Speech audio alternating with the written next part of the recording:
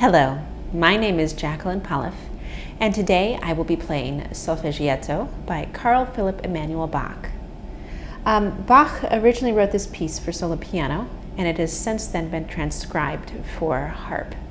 It's quite a popular piece on the harp, and I think many students um, learn it to practice their pedal changes. It's only playable on the pedal harp, and there are quite a few pedal changes throughout it.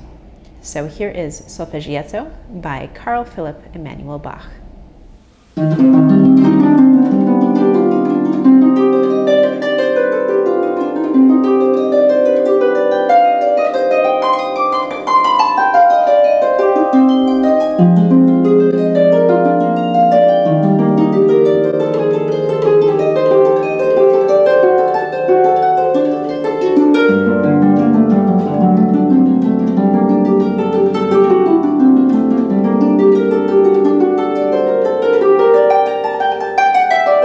thank mm -hmm. you